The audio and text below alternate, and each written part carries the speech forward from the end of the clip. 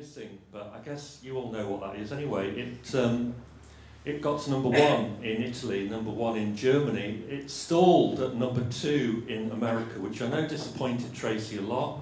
Uh, but then the disappointment was slightly leavened when she got her next royalty statement that said she'd sold three million copies of that particular single. Um, you also, I guess, uh, know Tracey for Everything But the Girl albums uh, and also for her various collaborations with artists, including Massive Attack, on that very memorable, amazing song Protection. Uh, Tracey's also uh, made solo albums. The first one was about 30 years ago, and the most recent one was October of last year. So there's a long and distinguished career to talk about. It's all in the book. Uh, the book is very honest, uh, very lively.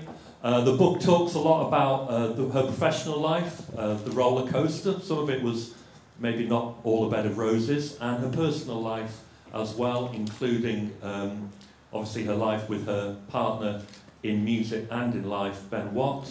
Uh, there's a chapter about uh, Ben being seriously ill in the early 1990s. Uh, anyway, I do recommend the book. There's Walk on Parts for Bono, Morrissey, Moby, and Liam Gallagher. The evening Tracey Thorn met Liam Gallagher. We're not going to talk about that. You have to buy the book to find out about that. Anyway, please welcome on stage Tracey Thorn.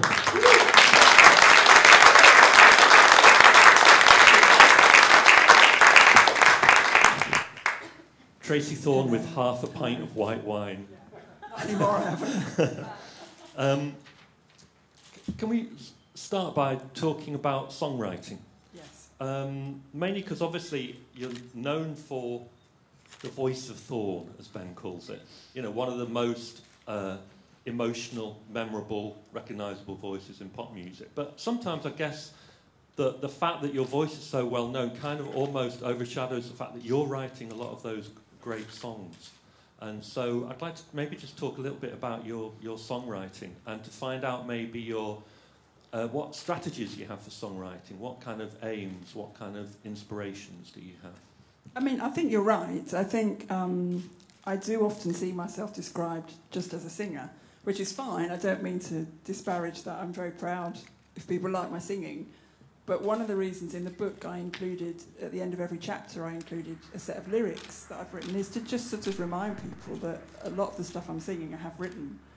I think there's an assumption, especially with female singers, um, to just hear the voice and not even wonder whether they're singing their own material. I've noticed um, a couple of women on Twitter complaining about this recently. Kristin Hersh was going on about, really ranting about for her, especially being described as a singer, seems an absolute anomaly. She doesn't consider herself a singer as such at all, and much more as a writer. So, yeah, I think it's definitely something that's worth drawing people's attention to. I think a lot of people think, you know, when I collaborated with Massive, that they handed me that track, and I was the sort of, you know, the decorative female vocal on the top, and that can be irritating. It's nice to remind people that. Because when Massive sent you that track, it was like, yeah. boom, they sent me a cassette. This is back in the days when everything was still on cassette. And I stuck it on, and it did just go boom, boom, about five minutes. That was literally the song. You know, where, where's the start, where's the end, where's the verse. Um, I had to kind of invent all that. So, you know, there was a lot of creative work involved in that collaboration, which, again, yeah, it is good to draw attention to. So, uh, obviously, I mean, you've I've mentioned your first solo album, Distant Shore, and I mean, the songs on that, you know, you were obviously you were they, you were kind of, in a way, still a teenager. A lot of them were teenage songs, yeah. but you lay down a marker as being somebody who wrote songs that were very honest, very kind of vulnerable, semi-confessional. So there's a kind of continuity, really, isn't there? That's kind of what the sort of song that you like to write, I guess. Yeah, I think you know I write quite straight songs. I think there's they're not massively poetic. Often they're quite prosaic. Um, they're quite subtle, which sometimes works against them because I've written songs sometimes when I think I've told you know maybe quite a direct story or made quite a um, a strong point. And actually, when I look back at the lyrics afterwards, I think, you know, you'd really have to know what I was talking about to know that was in there. I think in the early days, especially, I used to write a lot of songs that I thought were quite feminist. but I'd sort of disguise them a little bit as personal songs, and I'd address it as me to you. So it sounds like a love song, you know, an angry love song talking at someone, you know, who's been treating me badly. But I'm kind of addressing the patriarchy, really. but you wouldn't necessarily know that. So I think sometimes, you know, the style that I naturally write in has meant that, you know, some of the things I've written have passed people by a little bit as being easier on the ear than I intended them to be, because I, I do slightly disguise things. You, you seem to kind of aim at uh, really trying to get an emotional connection with, with, with the listener in what, in what you're. Yeah, I do. I, I think, you know, I, think the thing I learned I could do is just be direct, um, strip things away. You know, I don't, I don't think I'm confessional in the sense of, you know, being masochistic. I always think there's an element of um, sort of maintaining a degree of self-respect, even when I'm describing something that might have been difficult or painful. I don't, I don't think I've ever veered off into the sort of Alanis Morissette, you know, I'm going to literally rip my skin off in front of you kind of approach. I do think you should remain dignified. well, I, I, mean, I guess that's that's the kind of that's the kind of golden ticket, isn't it? It's that uh, like the Buzzcocks, so fall in love with someone you shouldn't have. You know, I mean, I imagine, and from what I know about Pete Shelley, there may well, well have been a particular individual that he might have been thinking about. But everyone who hears that song thinks, Pete Shelley has got an insight into my own life and my yeah. own heart. So people see it as they take ownership of the song yes, after absolutely. you've given it to them. And I think the interesting thing is sometimes the more detail you put into a song, the more people identify with it. And that sounds counterintuitive. You'd think if you put specific detail in, you'd make it very much specifically about your situation. But actually, what you do is you make it real and vivid. And strangely, I find I can write a very detailed song that does tell a story, you know, that did happen. And people say, oh, how, how could you have known this incident happened to me? And you think, well, actually, all you've done is painted a picture that seemed so real to them that what they did was recast it with themselves in, in a similar situation. So detail, I think, is key. There's um, obviously the, uh, there's a lot of the kind of X Factor singers and well, uh, uh, and also singers who are, are great icons like Elvis and Frank Sinatra and the Supremes who weren't songwriters. Yeah. Um, and uh, there are so- a lot of songs that you've also covered, you know, from the early days right up to kind of, you know, one of your biggest hits, which was the a song made famous by Rod Stewart. Yeah. I don't want to talk about it. So you've sung other people's songs. Yes. And I wondered what, what, how different it was to singing your own song and singing somebody else's. Is there, is there a kind of a difference in terms of how you... Yeah, there is a difference. I mean, I love singing other people's songs, which is why we always did covers. And I am still a great believer in the interpretive art of singing, which, you know, obviously gets a little bit disparaged now. The implication is you know, karaoke. You, that it's karaoke, um, which, as you say, dismisses what the entire career of Frank Sinatra and Dusty Springfield, to name but two of my favourite ever singers. So, yeah, I, I do think there's an awful lot to be discovered from singing other people's songs. Um, there's a kind of element of you being like a fan when you do it. You know, for me, listening to other people's music, as you know, a big element of that has always been singing along. I think that's uh, one of the big ways we all relate to music. Um, we love singing along with songs, and you kind of get inside them. And doing a cover of a song is almost just an extension of that. Really, you're kind of inhabiting it as a fan.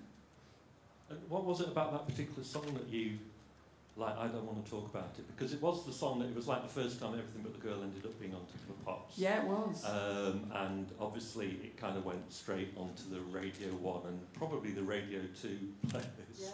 Um, but it kind of slightly skewed your career, didn't yeah, it, it in did. a way? We did it a little bit carelessly. You know, we'd done a lot of covers, often as B-sides, and, you know, we'd done covers of songs by people like Neil Young and stuff, you know, and in a way, that song that was written by Danny Whitten of Crazy Horse is in that lineage. It's a sort of classic kind of American country rock style song. Um, and I think if we'd done it and put it as a B-side, it would have just sat there and taken its place alongside a lot of other songs we'd covered.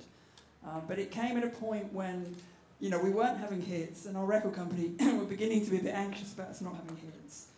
And we'd been doing it live, and they said, well, look, you know, it could be a single, and we sort of went along with it slightly naively, thinking, oh, it'll be fine. you know, and then it was a hit which was fantastic fun, for the four weeks it was being a hit.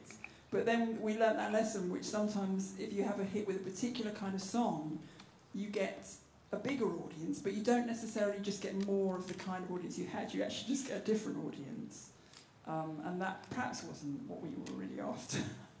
Um, the last time you sang live, played live, was the Montreux Jazz Festival in, in 2000, 13 years ago. And it's kind of funny because every time you're on Twitter or Facebook, the minute your kind of name pops up, there's always somebody from some part of the world that uh, you know says, Tracey, when are you going to come and play in Argentina? It's usually South America. I was going to Yeah. say at the moment it's always some, somewhere in South America. Or when are you going to come to Australia? And and uh, you do become a bit exasperated, to be honest, because Yeah. you're like, I'm not, and I keep saying I don't do singing, and um, and then the next time you mention it, another Yeah. person pops up. Why? When are you coming to Italy? So. Are you? I mean, is, is it kind of stubborn? What is it? Are you not stubborn about it? Sheer bloody mind. Yeah. So, um, on the record, why why do you not sing live anymore? There, I mean, to be honest, there isn't one simple, obvious reason. There, reason number one has to be good old-fashioned, simple stage fright, which I battled with for years and years. Um, and I think through touring and playing live a lot during our, you know, the busy time of our career, I just sort of got used to living with it. But it did mean sort of every evening, you know, building up something you had to confront and then get over. And that's quite a stressful way to live. And then when I stopped, I realised, God, I actually don't have to have that experience. I can actually build up to the evening and I'm not going on stage and I don't have to fight that battle. And so it became difficult, I think, to go back and refight that battle that I'd got used to fighting. So there's the stage fright thing. Then there's just the kind of logistics of it. You know, so much of touring is just so boring. The travel, you must know from the, the DJing years, you know, just the travelling, the, you know, airports, tour buses, hotel rooms, anonymous locations, a sense of not belonging. Um, I did that for years, and again, it's not a lifestyle I want to live at this age. But yeah, there's all that, but then yeah, also but it's a buzz, isn't it? The bar, the bar. The buzz. I mean, the buzz of. The, I mean, there must be gigs that you can remember where you actually. Absolutely. This is why I'm on God's Yes. earth to do this, and this is amazing. Yeah, but I've done it. You know, I, d- Okay. I suppose it's a buzz that I'm really happy to have experienced. But what I don't have in me is a kind of yearning to recreate that buzz. If I did, I think you're right. I think that would outweigh the cons. Um, but I think until I have that, you know, and it starts niggling away at me, and I start thinking, oh God, I wish I could feel that again. At the moment that kicks in, I'll do it, definitely. But I'm not going to do it just because people say, when you come to Argentina. But also, the longer you wait, the bigger this hurdle's going to be. Yeah, I know. And then I'll die, and I won't have to worry about it. Glastonbury, Everything But the Girl, with Jeff Buckley coming on stage and doing I Know It's Over by the Smiths. That must have been a buzz. I was very, very drunk. that was mad because we met up with Jeff Buckley in New York and casually said, Oh, you- you're going to be at Glastonbury, we're going to be at Glastonbury, let's do a song together. Yeah, yeah, yeah, like it'll ever happen. And Ben and I were booked to do an acoustic set at kind of, you know, two in the afternoon or something, one of those awful things, it's a bit early in the day still. And we were literally in our little backstage hut that counts as your dressing room. Ten minutes before we're due to go on, and Jeff Buckley kind of breezes in, going, "Hey guys, so what are we doing?" I went, "What? You're serious? We're going to do a song now?" Um, so we worked out about the only song that we both knew was "I Know It's Over," um, and we kind of he came on and we blundered our way through it with him doing that thing of you know starting out singing it quite straight and then kind of howling. um, it was chaotic, but And also you- Earlier in your career, you duetted with Paul Weller doing Fever. Yeah, and And- Girl from Ipanema got Paul Weller to do the. But I'm kind of, in, and at that point, Paul Weller was like a, obviously a big hero of yours. you Yeah. know. And um, and I, I, I, I've always kind of wondered if you, you know, when he sang to you, I've got you know fever all through the daytime, fever all through the night. Did you just swoon a little, or did you? Was it just a bit all too surreal for you? It was a bit surreal, and do you know what? When you're actually working with Paul, um, the swooniness thing is slightly eroded by the experience of working with Paul. Does that Which, mean? well, bless him, he's wonderful, but um, I don't know, just that kind of like on edge thing all the time is a little bit of a sort of dampener on the swooniness.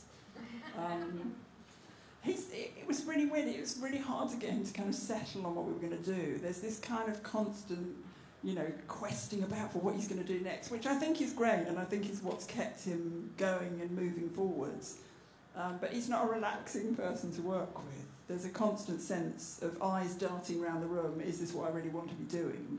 Sort of hanging in the air, um, which adds a sort of tension. It's not necessarily a bad thing. But I don't think I swooned. um, just, just maybe it's slightly connected with what we talk about stage fright. But there's, there's a quote um, in the book um, I've never enjoyed being looked at. Um, and obviously, the, the subtitle is How I Grew Up and Tried to Be a Pop Star. And I was thinking that if you think about a pop star's life, you know, being on stage, being on videos, having your photograph taken, it's a bit of a handicap being somebody who'll say, I don't enjoy being looked at. It's a total handicap. I mean, that's why, you know, the book's not called How I Grew Up and Tried to Become a Pop Star. It's not meant to be a sort of disingenuous, oh, I tried to get there, you know, but never quite made it. It is saying, I sort of acknowledge that I did get there, but it's about then trying to be that and trying to find a way to inhabit that role that works for everyone, you know, that works for the people who actually are buying the records and coming to the gigs and want something from you, which is a level of performance, and works for me feeling like, you know, I'm still being the person I really am. So there was that, you know, pulling in different directions a lot of the time. Which makes for an interesting story, at least, because there's, again, a sort of, you know, an ambivalence, you know, tension about the situation. Yeah, I mean, I mean, there's a lot of ambivalence because, in a way, you know, a, a, you know, you're being a songwriter and the kind of songs that you write, you know, and, and the kind of life that you've lived. You can't help but reveal something of yourself almost every day, you know, through your songs mm. and being on. So there's that kind of you're self-revealing a lot of the time, whereas at the same time kind of shy and I don't like anyone looking at me. So there's kind of is there a conundrum that needs to be teased out then, or is it just kind well, of what it's like being kind of you know, complex person? Or? Uh, there is a conundrum, but I, I'm not sure that it's a unique one. I think, you know, ambivalence and unease in the public glare and yet desire for the public glare are two things that go hand in hand, perhaps more often than we might think. And, you know, the ego that gets you up on stage in the first place combined with uh, you know, self-esteem issues that cause anxiety, which might then prompt you to write songs and stuff. Do you know what I mean? It's, in a way, these things form a personality which, at its best, creates an interesting performer because, again, there's, that's this thing of tension going on and ambivalence. Um, I, I'm not sure we do want to see people on stage who are just super self-confident, impervious individuals. I certainly don't. Well, I think, I mean, I think that's one of the good things about your story is that it, it kind of does offer that other way, you know, that you don't, that, you know, like sometimes when the, there's um, uh, something broadcast on the news and there's, a, there's like a TV crew somewhere and then someone kind of jumps up in front of the TV crew and like, look at me. And I always kind of think, well, actually, the person who's going to, we're going to want to look at is the person just off camera who's maybe got a little bit of something else going on in their lives. So yeah. there's a there's the, in that sense, you're kind of a good role model for the fact that you're, that, you know, as you say, you don't want necessarily to be looked at. It's not for you about look at me. Yeah, well, I suppose the point I'm saying is that being looked at isn't the point of it. I, I did reach the point, obviously, of understanding that that came with it, and it wasn't like I was doing my nut every day of my life. I did make my peace with it. But I think if your motivation is just to be looked at, then the likelihood is you're not necessarily going to be a very interesting artist. Um, just the final thing, uh, again, something that I've imagined, final thing about the singing and, and the live. I always imagine that um, you know, you have three kids. I kind of imagine that there must be an occasion where maybe it's a birthday party or something, and everyone's kind of stood around the cake and they're singing happy birthday, and you join in, yeah. and then all the mums and dads just kind of go quiet and they're like, oh my God, voice of an angel. Um, I mean, or are they a little bit more low key? I mean, does that, in, that, does that scenario happen?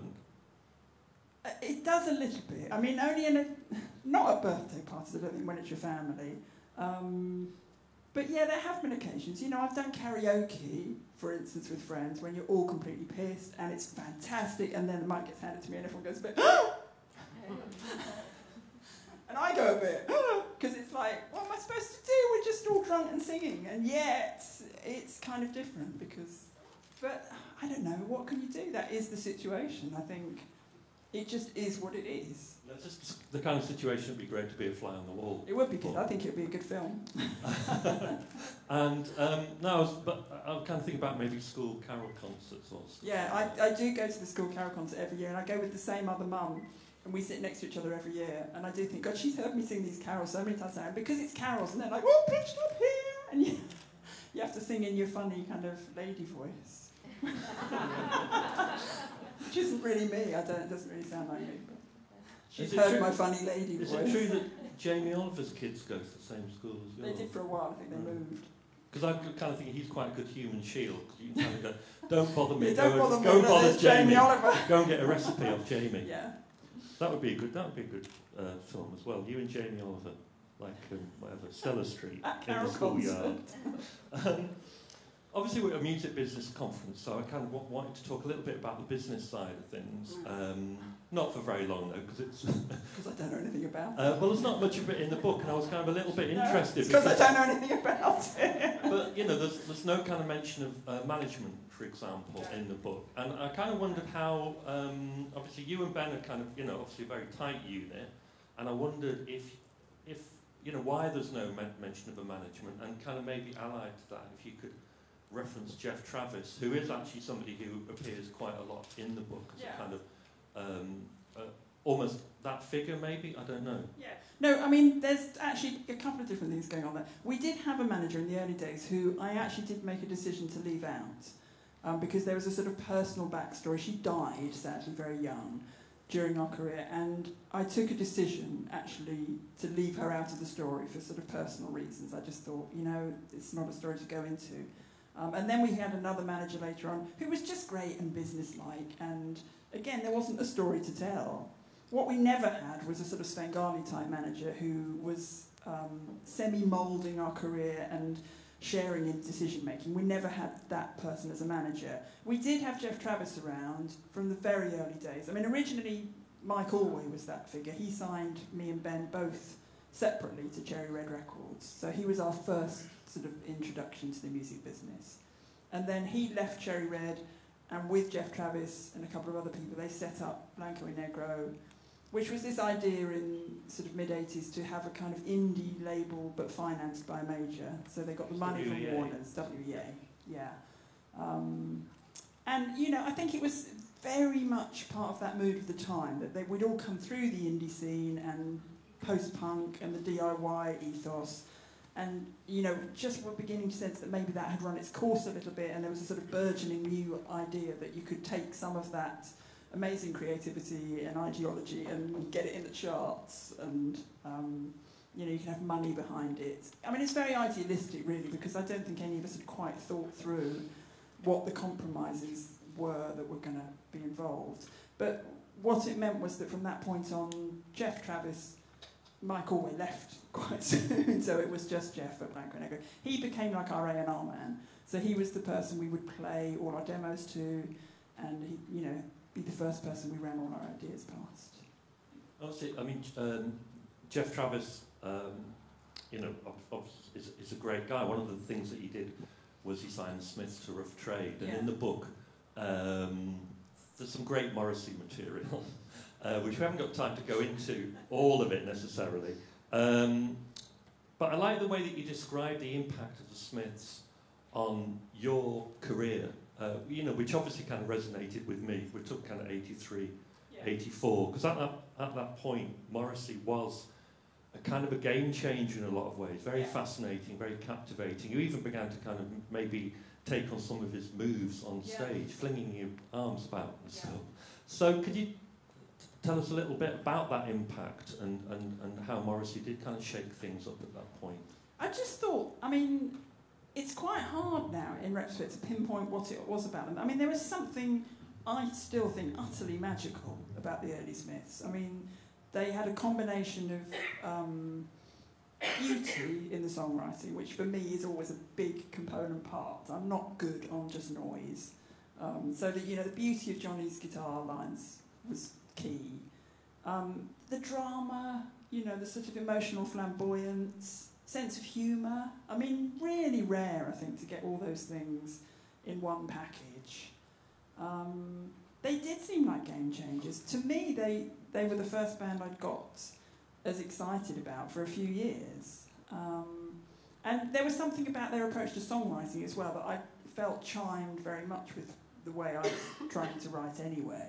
I mean, again, they had that very sort of, well, Morrissey's lyrics had that sort of kitchen sink drama, you know, a real fascination with the mundane, um, you know, that uptight thing. That and the, and the androgyny thing, I think, the androgyny yes. thing, I think, was also. Yeah, for me, that was that was exciting. Um, I mean, you know, there was a lot of that about. It's not like Morrissey invented it. I think we, we were coming through a period when, you know, there was that whole thing of boys and girls sort of having a sort of interchangeable look, you know, haircuts and fashion were quite androgynous. Um, he did it brilliantly and looked amazing, so in itself that was very inspirational. And in the book, you talk about him inviting you and Ben round for tea. Yeah. He moved from Manchester to was down South to Kensington? Kensington. Yeah. And that's what, and he invited, but he kind, kind of befriended us for a while and used to write us postcards. Um, which were, you know, these amazingly sort of flirtatious postcards that would arrive. Um, and we'd be invited for tea. You were the kittens. We were the kittens, yeah. Dear kittens. Dear kittens. Um, and then I went round one day to tea and he just didn't answer the door. I'm sure he was just in there deciding, I don't want to see them today. So I, I, kind of worked out quite early on that actually, you know, being friends with Morrissey was something that you couldn't perhaps just take for granted. Um, again, in the book, there's, a, there's um, something that I find kind of quite intriguing. Around, I think it was around 1990, uh, the Language of Life album came out, We sold half a million copies. Mm. But um, you were kind of seemed quite unfulfilled, and you talk about this in the book. In fact, you, even a couple of years earlier, um, you know, you were talking about maybe you felt like the band was in decline, and we don't often have artists who are kind of honest enough to talk about what happens when you lose your way, how yeah. that happens, and, and, and how do you deal with it. So I wonder if you could maybe just tell us a bit more about that. Well, it was when I came to write the book, I was very aware that the most difficult bit of the story to tell was going to be that period. And I, I really did have to think long and hard about how to do it, because on the one hand, I thought I could completely justify that period. I can give you all the arguments why we did this, why we didn't do that, why we didn't engage with this bit of music, why we took that path. Um, because they were the reasons we did it at the time, and they were quite genuinely felt beliefs. But the point is, in retrospect, I do think there were a couple of moments when we made the wrong decision. And, and, and also just through being a bit, having run out of steam and, and the creativity being a bit low, you know, we just perhaps wrote songs that weren't the best songs, and they were, so inevitably made records that weren't the best records. And I just thought, well, I can't gloss over that. You know, I think the most honest thing would be to admit to that. And actually, maybe that'll be quite interesting in itself to sort of be honest and, and, and take a step back from your own work and say, look, it's, you know, I'm not stupid. I can see that this record's better than this record. Obviously, from, from the outside, you kind of, it, it, it, again, it's like a, it's a little bit of a paradox. You know, you yeah. sell half a million copies, yeah. but actually, you feel creatively. It was yes. really about the creativity, was it? Or was it, it was. about fi- finding was, an audience? It was both. Well? I think it was about feeling that we didn't quite connect with people who maybe we would have connected with at the beginning. So there's that feeling of, you know, that you're sort of being, your records are being bought by people who've come from somewhere else than where you've come from. I mean, that shouldn't matter. Maybe it doesn't matter. Um, but I think given the people we were and how much we'd felt formed by where we'd come from in that musical scene, to have our records being bought and then be encountering people and doing interviews, for instance, with people who just didn't know anything about that scene at all. It felt a little bit like part of your personality being sort of rubbed out. That they would talk to us, you know, in America particularly, we were regarded as being this kind of very sophisticated, you know, jazzy pop act, you know, and maybe we were a bit like Sade, we were a bit like Enya, and I was kind of thinking, well, there's a bit of that in there. Sonically, I can see the connection, but theoretically and conceptually, that's sort of erasing an awful lot of our identity. So I think we just thought it's just not going to work for us. We could carry on down that route and financially it'd be successful, we could tour with this, it, everyone would be happy, but in the middle of it, I think we'd just be thinking, how did we get here? Yeah, and again, in, in, the, in the book, it's great that the kind of uncomfortability of dealing with that American, particularly that American audience Yes. is kind of, funny. But obviously, what what happens, in, and again, it's like a really, it's a twist of fate, isn't it? Because what happens after that period uh, where you feel that unfulfillment, um, and, and it is that Ben gets really ill, really poorly. Yeah. Um, Well, as I say, luckily Ben contracted a life You actually say that in the illness to book. save us. did you say that in the I do actually use the word luckily, yeah. But it was, it was like He you say, it was, it was, he was seriously Yes. um, ill for a time. Yeah, he was in hospital for three months and then really convalescing at home for a year. Um, and it wasn't at all obvious to what degree he was going to recover. You know, he had a lot of surgery and was very, very sick and on very strong medication for a long time. And, you know, it wasn't by any means clear that when he came out of hospital, that was it. You know, you've broken your leg, but now it's mended, you know, back on the road. So we, we were going through a long process of reassessing lots of things in our life and thinking what's the future going to be like, how can we make it work. And ironically, right at that time when we should have been at our lowest ebb, a sort of reinvigorated determination crept back. And I think a feeling that, well, look, where were we before, before all this happened? Well, we weren't very happy, were we? So obviously, we're not going to try and go back to there because where we were there wasn't quite working out. So if what this situation means is that, you know, we've got to live a quieter life and maybe operate on a smaller level, then let's make a virtue out of that. Let's tentatively do a few little gigs and see how it works. And of course, we did and loved it. You know, we got out and did tiny little gigs. I mean, I I mean- say, you know, that if you'd seen our tour schedule, you know, we were playing old, you know, pubs like the Old Trout in Windsor, which is a famous one of those little tiny rock venues. You might have said, God, poor old everything but the girl. You know, they were at the Albert Hall only five years ago, and here they are at the Old Trout in Windsor. We were having a brilliant time. We were absolutely loving it. Uh, yeah, and- and obviously within kind of three or four years of that, the what you know protection and missing, Yes. and, uh, and and and also you had children, so that kind Yeah. of that, that second chance, or you want to want to call it. I mean, that that's got a very strong story. In, It in is good. book. I mean, the truth of it is, though, that wasn't what we were aiming for. I mean, it is true to say that at that point when we were doing those little gigs, and then when we recorded Amplified Hearts, we were as excited and connected to our music as we'd ever been, and really loving it for its own sake. Um, and then, of course, ironically, had a massive hit just when we weren't really trying to. You know, the Todd Terry mix, which people think oh, it's such an obvious hit. You know, it wasn't done as a pop radio remix. It was done just as a US club remix, a useful tool, you know, something great to have out there in the US clubs. Even when it was first delivered, no one listened to it and went, oh, God, that's a hit, surefire number one. People just went, yeah, that's great, that'll be really useful. I've got in my archive a white label of missing, Really, um, one of the first ones. uh, with a little note from you going. Um, do you think you could play this at the Hacienda? Well, I thought you might like it. Yeah, I did. I loved it. Um, and obviously, it went on to sell three million. Yeah. So, um, just quickly. Um, again, the, being in- this conference environment, I did want to ask you. A, a, a, it's a huge question, which um, you've got about three minutes to answer, and that's about um, being a woman in the industry. Because one of the things that sustains you No. well, but, well, I mean, I think it, again, it's, it's in the book. Yes. You talk very much about some of your early role models: Patti Yeah. Smith, Chrissie Hynde, Lesley Woods, etc. Um, and they kind of sustained your, you know, sustained you in that early part of your career, knowing Yeah. that they were out there and they'd done good work, and you had allies like Lindy from the Go-Betweens and so on. Mm. Um, but you kind of, uh, it's almost like you stop, it's like you stop having allies Yeah. somehow. And, and I kind of wondered if you could just maybe talk about that and talk about how, you, whether you think there's, you know, a, a particular, uh, well, obviously there are particular difficulties, but what are the particular difficulties of, of being a woman in that industry, particularly at that time? Well, I, I do think that the period when I started was a particularly good time to be a woman in music, and the, the people you've picked out there as the role models, and you know some of the other bands who inspired us in the Marine Girls, people like the Raincoats and the Slits, and you know there was you could make a really long list actually of women from that era, and if you tried to make a similar list for ten years later, you'd have to think a lot longer and harder, um, and it just wouldn't be the same. You know what I mean? There was things do change, and um, you know I often think that women's progress it does take leaps forward and then gets pushed back and takes more leaps forward.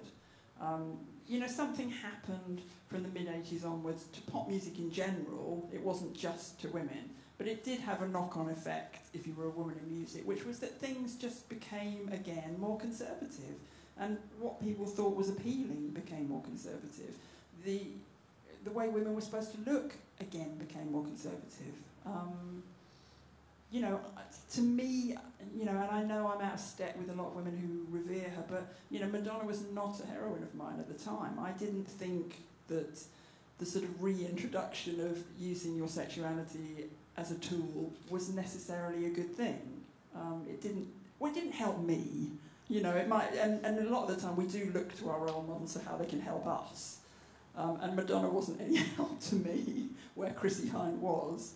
So I think you know, that whole thing of, um, you know, this is like a virgin, we're going to just be sexy again, but we're so empowered that it's going to work for us. I kind of thought, well, you might be able to, I can't do that. And there's a lot of other women who can't either. So if that's going to be the new game, then we're just going to have to sit on the sidelines again. And then I felt during the 90s, you know, that we went through that period when feminism became a dirty word and the whole lads mag culture, you know, just reintroduced what seemed to me just playground sexism, but just dressed up as irony. And at that point, I thought, fuck, we really have, we've lost.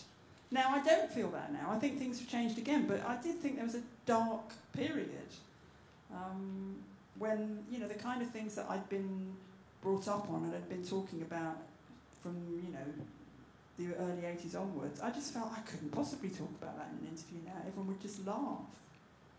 Uh, but like I say, maybe things have changed a little bit. Yeah, I think they have. I think they've changed again. I think there's been another generation now of women who've come along, um, and I sense, you know, there's a lot more discussion going on now again about feminism, and a lot more younger women standing up and who've, you know, reclaimed the words, reclaimed lots of language. There's lots of arguments and debates going, which is good. I like that. I don't mind. Some people get very upset saying, "Oh, women shouldn't argue between themselves. They should be supportive." I think we should argue. It's good you know, we should all say what we think and talk. And as long as everyone's talking about it, that's better than just pretending that actually everything's fine now. And talking of arguing, just uh, come back to Twitter and Facebook mm. because um, you know you, you, have obviously again so, uh, some of us older people can fall into that you know things were much better back then type yeah. rubbish and you know if we're honest um, there are a lot of fundamental things that have stayed the same, and there are some yeah. things that are different. Um, but one of the things that I think are, is a massive advantage to an artist now is particularly Twitter, maybe Facebook, being able to deal and talk directly to yes. your audience, get across your ideas and your personality without being mediated yeah. through a journalist or a, a shit TV program or yeah. whatever. I mean, is that one of the reasons why uh, Twitter particularly is something that you've that you know that you you do spend time on. Yeah, I really like it, and I like to think that if it had been around earlier in our career, that it would have been beneficial because I think making direct contact would have been helpful. Um, I think for me, especially, always being mediated by a journalist was problematic. I used to feel I'd do an interview and read it back and not recognise the person who was being described, um, and that felt disempowering. You know, I felt that the journalist had too much power, that you'd have a conversation with someone for an hour and their version of it was printed as the truth. And you didn't really have any opportunity ever to redress that balance and say, well, hang on, my version of this conversation is that you were an arsehole. Um, not that that's what happened all the time, but that, that could happen, and that was, you know, a repeated situation. And with Twitter, you can, or Facebook or anything, you know, you can have conversations directly. Um, it's much easier to present yourself as a complex entity rather than a simplified entity. Now, I think in terms of the music business and creating movements, I think it makes it more difficult. I think now that we know that all bands and artists are actually complex human beings like the rest of us, and that you can't fit them neatly into little boxes. I think it makes it more difficult to imply that there's a sort of movement going on which you stick a neat label onto. Yeah, I mean, there's also, yeah, slightly, sometimes you want a little bit more mystery. Yes. Um, Yeah. I mean, there's, a, there's an American novelist called Joyce Carol Oates Yeah. who I absolutely love. Yeah. She's on Twitter Yes. and she's like, oh, stuck in a traffic jam in New Yeah. Jersey. And I'm like, You don't want to know about don't wanna Joyce's know about traffic. that. No, I know, No. I know. But then you don't have to follow her. You can maintain the mystery from your end by not seeking out that revelation and the demystification. You know, you can choose to hang on to the mystery if you want to. It is optional. Um, I know that that's tricky because it's quite difficult to say no to social media when it's out there. Um, but I suppose the point nowadays is you can have it whichever way you want it. If you don't want to know what your favourite singer-songwriter had for breakfast, then don't follow them on Twitter. but I also think it's, it's a useful tool for finding allies. I think that's Yes. something that I've, I've It is. noticed that you've managed Yeah. to do. You know, that idea that you're quite isolated and Yeah, uh, etc. yeah. To suddenly actually think, well, I'm part of a network and there are like-minded people and I have I've allies. made- I've made tons of actual real life friends through Twitter, and most of them women. And I don't think that's any accident. I think Twitter suits women incredibly well. Um, there's a lot of female voices who've, you know, become very dominant on Twitter, but even below the level of the sort of, you know, star tweeters, there's a lot of other women as well who are just vocal, and again, who are being allowed to be vocal without constantly being mediated. Okay, you got a, you get a lot of shit back because if you're an opinionated woman on Twitter, you're going to get people who object. So what? okay, I'm going to throw over to the, to the audience. Um, audience, quality audience.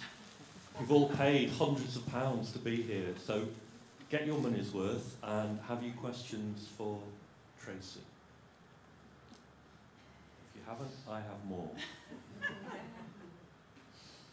It's that moment at the end of the lesson, isn't it? She said, Right, is there anything you haven't understood? Always take one brave person to start the Yeah, flood, though. Please, miss, Brave I didn't person on the front understand row. when you said that thing about. Yeah.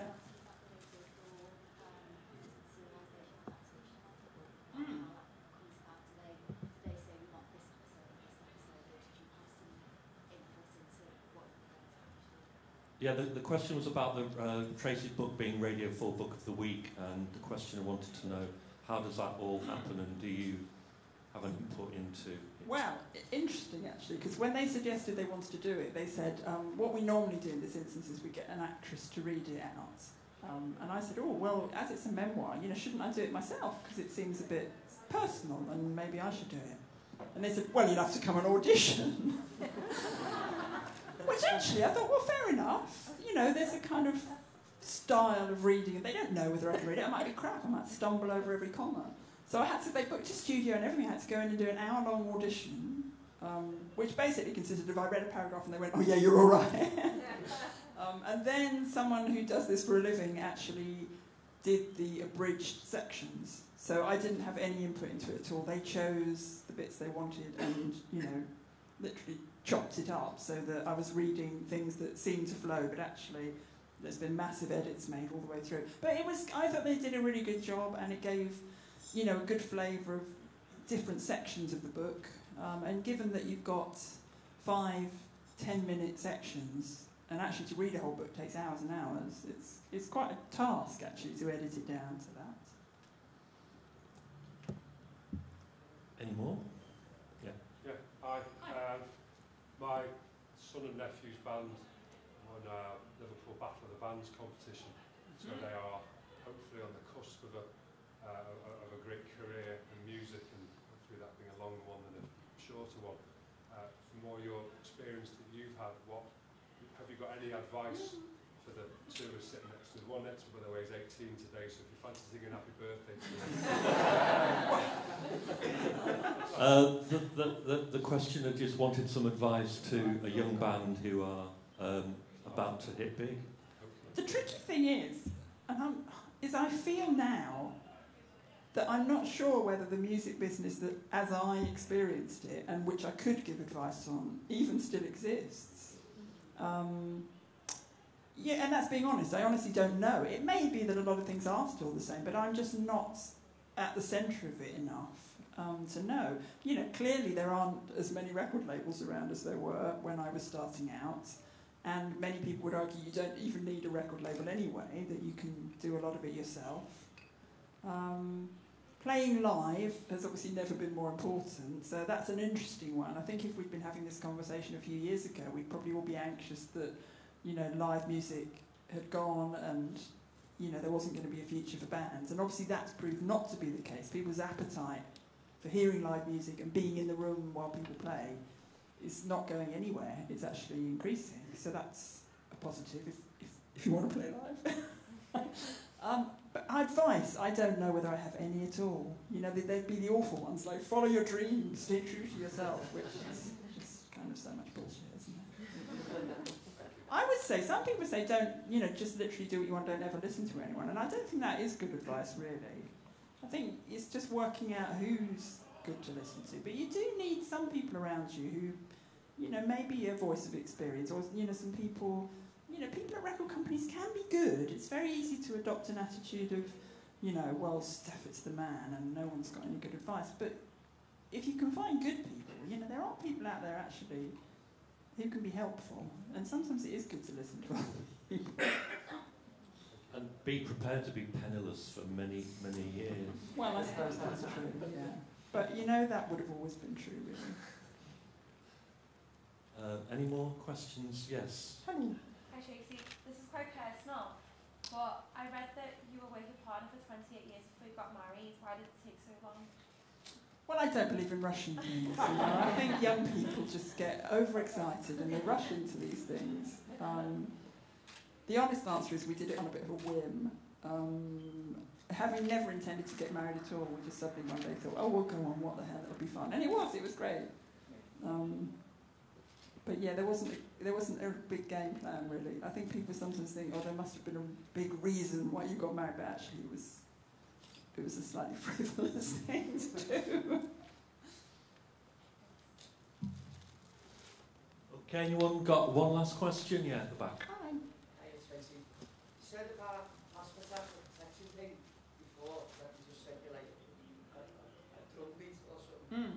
Well, you know the James Brown that, that they ended up using the thing. Did you do that flip on, on it because it was violent? and No, no, no, no. They did. They did that. It was Mushroom who put the track together. So he did the actual, you know, the sample and did his fiddling about with it. It all in it. It all in like James Brown was the, the man, the, the, the, the, you know, Yeah. match-up thing. It was all in it. A flip on that. Did you take Well, not not strictly speaking. I mean, I always thought with Massive, the reason I felt I could write that lyric with them was because I thought that they already had that vibe about them of a really nice mixture of being, you know, sort of musically quite tough, and yet with the songs they'd done with Shara, there was already a really strong female identity to them, which was what drew me to them. I thought that was quite unusual.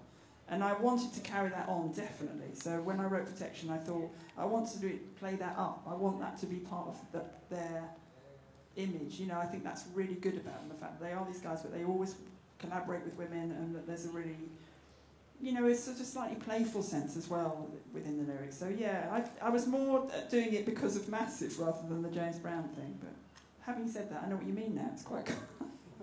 I'll claim that as my own now.